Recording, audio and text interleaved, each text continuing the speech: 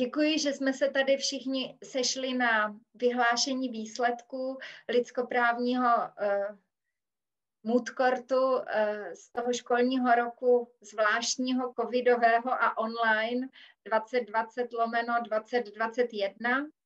A vlastně uh, rádi bychom tentokrát trošku netradičně se podívali i na to, jakým způsobem by případně podle zúčastněných osob tento případ dopadl u soudu. Já bych nejdřív řekla, že vlastně se podílím většinou na přípravě toho případu spolu s právníky Ligy lidských práv a tentokrát ještě také s Matějem Stříteským, kterému tímto také děkujeme za spolupráci na přípravě toho případu. A my vždycky, když ho, když ho tady vidíme, zdravíme a vlastně když ten případ formulujeme, tak se to snažíme udělat tak, abych vlastně já třeba nevěděla, jak bych to byla bývala rozhodla, kdybych byla soudkyně. To znamená, že to bylo skutečně nastaveno na jako tak, že obě ty uh, strany mají důležité argumenty ve svůj prospěch.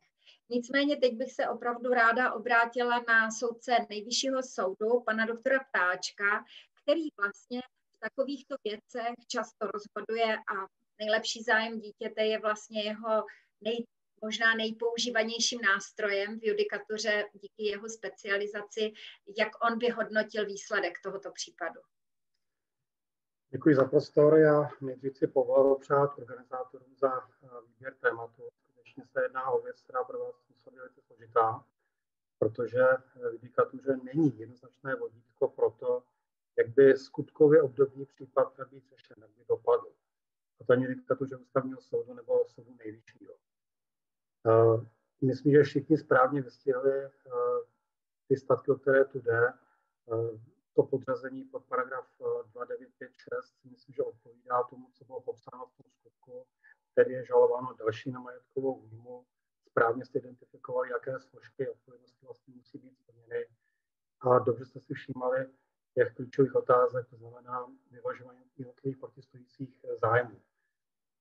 Um, já jsem si od počátku říkal, když jsem eh, viděl to zadání, že si myslím, že ta žalovaná strana, je ta nemocnice, je nepatrně tedy horším postavení, eh, tedy jak si tahal za kratší pro vás, když to takto řeknu stručně.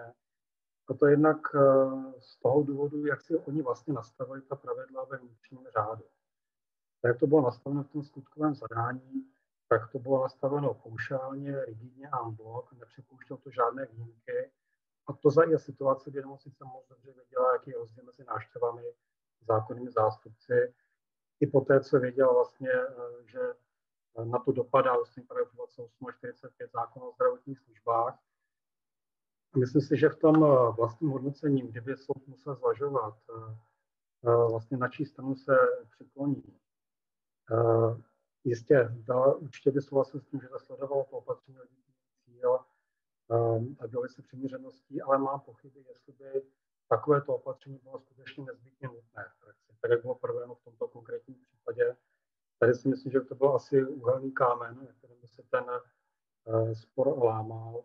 Uh, určitě by byly zásadní medicínské argumenty, znamená to zdravotní stav toho dítěte, vylučující jakoukoliv přítomnost někoho jiného než lékařského personálu, ale jiné argumenty typu technické, že to máme nějak postaveno, navrženo, vykonstruováno, nebo argumenty finanční, radši dáme ty úvazky na jinou péči nebo na návštěvy přes den než večer. To si myslím, že jsou argumenty, které by asi obstát eh, příliš neměly. Pak mě tam vzal ještě jeden moment, to byla taková ta volba, před byli ty rodiče postavení u toho informovaného souhlasu. Tam se jakoby uh, na jednu stranu staví, vyberte si buď to špičkového operatéra a horšího právníka, běžte jinam, kde jsou horší operatéři, ale jsou lepší právníci. Tak samozřejmě vždycky si vyberete uh, toho lepšího operatéra. Ale takhle by to volba zásadně stát neměla. Uh, to z toho důvodu vlastně, že uh, právo na rodinný život, které je upraveno v mezinárodních umluvách o lidských právech a nachází vyjádření v zákonných předpisech, tak ten zákon platí všude stejně a pro všechny stejně. Takže pokud máme nějaké právo volby, tak si vybíráme mezi lepší nebo menší lékařskou medicínskou péčí a nikoliv mezi tím, jestli lidé zákon dodrží, respektují, snaží se ho uchovávat nebo nikoliv. To ta volba smí. Takže eh, kdybych to tak shrnul, tak já bych si asi spíše myslel, že pravděpodobně by ta žalující strana mohla být úspěšná. Otázka, do jaké míry jestli byla úspěšná z, z toho, co požaduje, jestli by soudy možná nakonec eh, si nespokojili toliko s omluvou a nepřiznáním eh, finančního zadostiučinění. Ale říkám si, tak jak to bylo nastaveno, bylo to vyloženě vybalancováno a myslím si, že ta nezbytnost by byla asi klíčová pro posouzení toho konkrétního případu. Děkuji, děkuji pěkně. Já k tomu dodám také svoji poznámku. Eh, všímám si v některých rozhodnutích, jimiž se zabýváme na ústavním soudě, že vlastně u nás v České republice právě ti lékaři, zdravotnická zařízení, poskytovatelé zdravotních služeb jsou velmi silnou vlastně mocenskou organizací. Vlastně tak, jako my vnímáme většinou postavení jednotlivce vůči státu, tak vlastně tady velmi často už narážíme na tu situaci, že buď ten zdravotní systém, anebo konkrétní osoby v něm skutečně vykonávají vůči tomu pacientovi taky velmi silnou mocenskou pozici, právě protože rozhodují o jeho životě a zdraví. A mám pocit, že pořád ještě v našem zdravotnictví se někdy vnímá rodič spíše jako problém, než jako součást či pomocník v té léčbě, což prostě vlastně ve srovnání se západoevropskými státy, tam to vůbec nevidíme, že jo? Tam ten rodič je vnímán jako osoba, která je důležitá, aby pomohla těm, těm lékařům, protože to dítě má pak lepší Eh, pocity a že to prostě napomáhá té léčbě, takže trošku mám pocit právě takového toho pohledu, eh, takové, takové té instrumentalizace těch pacientů a že vlastně naše zdravotnictví, ale myslím si, že moderní zdravotnictví obecně někdy tedy neléčí člověka, ale nemoc, takže jsme ho jako vyléčili z jedné nemoci, ale vlastně u toho, u toho získal druhou nemoc to je ten expertní přístup, který ale třeba právě pacienty v České republice je docela často vyžadován. A abych zase se na to podívala z druhé strany, tak třeba mezinárodní orgány nebo mezinárodní třeba i soudy anebo výbory, když se podívají na Českou republiku, tak sice vidí určitý deficit právě k respektu, ke svobodné vůli nebo k těm, k těm sociálním vazbám toho pacienta, ale mají pocit, že naše zdravotnictví je velmi efektivní, velmi výkonné a hlavně přístupné vlastně na rovné bázi všem občanům. To znamená, že se poskytuje kvalitní péče bez nějakého finančního výběru mezi těmi pojištěnci a že tedy vlastně vidím, že ty mezinárodní orgány nebo mezinárodní organizace nejsou vůči České republice kritické pro tady ten trošku paternalistický přístup nebo ten instrumentalizující přístup. A když se tak nad tím zamyslím, tak opravdu možná to řešení, které řekl pan doktor Ptáček, jak by to dopadlo, že by se nemocnice omluvila nemusela nic platit, že to by možná byl ten kompromis, ke kterému by česká justice možná, možná v téhle věci dospěla, ale říkám, sama nevím, ale eh, je pro mě důležité tematizovat tu pozici pacienta v tom systému a současně si být vědom toho, že eh, nejít, že, že tady máme tedy ten respekt k těm k samostatnosti a rozhodování a vlastně k, té, k tomu soukromí a souhlasu pacienta, ale současně proti tomu stojí to, ta vysoká míra zajištění toho sociálního práva. Takže prostě třeba z toho mezinárodního pohledu vidíme, že Česká republika, byť i třeba nerespektuje někdy rozhodnutí pacientů, tak vlastně není tolik kritizována díky kvalitě té péče. Tak to je třeba pro mě jako zajímavý pohled na, na tuhle tématiku. Nevím, jestli asi bych dala slovo Zuzaně Kandigliotě a pak Martinovi Kopovi, jestli by k tomu ještě něco dodali, ať vás trošku udržujeme v napětí, jak to dopadlo. Tak eh, u mě asi úplně nebude překvapením, že bych se přiklonila na stranu té rodiny.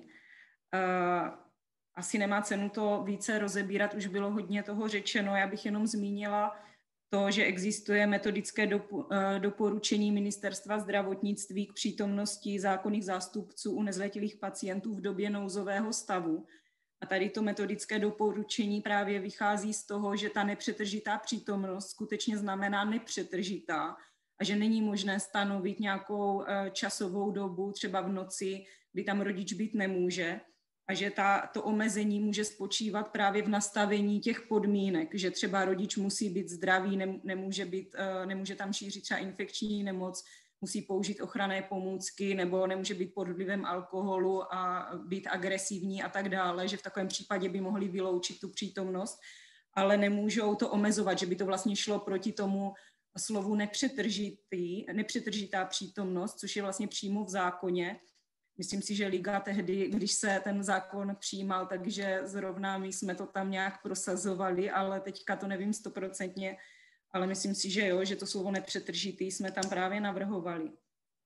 Takže to je jedna věc. A nehledě na to, že ten metodick, to metodické doporučení je v době nouzového stavu, takže v době teď toho koronaviru. Takže tím spíš by mělo být aplikovatelné na dobu, kdy není, kdy není ten nouzový stav, což je i ten případ, vychází ze situace, eh, kdy není žádný nouzový stav a neřeší se tam žádný koronavirus. Tak tím spíš Tedy když eh, to metodické doporučení akcentuje ta práva rodičů a přesně to, co říkala paní doktorka Šimáčková, že ti rodiče mají pozitivní přístup na léčbu těch dětských pacientů, což je tam taky zmíněno, tak pokud toto platí i v době, kdy, eh, kdy je tady nějaké další ještě riziko navíc, tak tím spíš by to mělo platit i na běžně. Takže to je z mojí strany. Tak eh, já jsem ze všech členů soudního panelu nejméně povolaný k tomu, abych něco říkal, ale já spíš tak hodnotově. Já jako správní soudce jsem tak jako zdravě podezíravý vůči, vůči moci. A jak zmiňovala paní doktorka Šimáčková, tady nositelem té moci v mých očích eh, byla ta nemocnice. A od, možná z toho důvodu bych byl na ní přísnější a snažil bych se hledat, jestli opravdu udělat, co mohla a tak bych hledal nějaké znaky lidskosti ze strany té, toho nemocničního personálu, což teda to skutkové zadání eh, zrovna v tom hlavním momentu, kdy ta sestra měla si matce a kde domů, tak není úplně detailní, ale tu lidskost jsem tam moc nenašel. Takže z toho důvodu já bych asi také byl na straně těch rodičů, ale berte to spíš jako hodnotový a ne úplně odborný pohled. Tak, děkuji moc. Takže teď dnes jsme se i něco dověděli k hodnocení toho případu a vlastně k hodnocení právního problému, který je vel, velmi závažný a často se objevující v debatách. A teď už tedy konečně se dostaneme k tomu, kdo vyhrál než letošní lidskoprávní mood Nejdřív bych zopakovala to, co z pravidla říkám, že vlastně jsme to vyhráli my, kteří ten mood court organizujeme a rozhodujeme, protože jsme prostě šťastní, že každý rok je tolik tak talentovaných a tak dobře připravených studentů, kteří tomu případu dali opravdu tolik práce. Takže ještě jednou vyhráli jste to vlastně všichni a my s vámi, ale teď už tedy, kdo opravdu vyhrál a kdo byl letos tím nejlepším týmem. A nejlepším týmem po dlouhé debatě jsme se rozhodli, že byl tým číslo 91. Takže tým číslo 91 vyhrál letošní lidskoprávní útvar, ale řekli jsme si, aby to nebylo líto ani tomu druhému týmu, nebo respektive alespoň jednomu členovi tohoto týmu, tak uh, nejlepším řečníkem letošního lidskoprávního mood se stává Pavel Linzer z týmu číslo 19. Takže také blahopřejeme a děkujeme a v závěru bych zase řekla, že samozřejmě také děkujeme Lize lidských práv za zajímavé případy, které každý rok přináší a i za to, jakou platformu příjemnou poskytuje téhle soutěži a že se nám to vlastně podařilo i tentokrát eh, v online prostoru, čemuž jsem ještě včera vůbec nevěřila. Takže děkuji vám všem Doufám, že jsem nic nezapomněla. Kdyby něco, tak vás budeme ještě kontaktovat a diplomy dostanete, poš- eh, dostanete e-mailovou poštou. Děkujeme moc a nashledanou. Já se ještě vezmu slovo krátce. Děkuji a chci poděkovat porotě, a konkrétně paní doktorce Šimáčkové, která je garantkou celé soutěže, která ji vymyslela, ale pak samozřejmě tímto symbolicky předávám kytici, kterou jsme zvyklí předávat, ale teďka to nejde, tak já se tady dovolím tada nějakou konfetu poslat. Samozřejmě další kytici předávám Zuzaně kandidátě a děkuji i Martinu Kopovi a Liboru Ptáčkovi za to, jak jsme to společně zvládli a jaká to byla parádní, parádní atmosféra. A samozřejmě děkuji i všem soutěžícím, gratuluju vítězům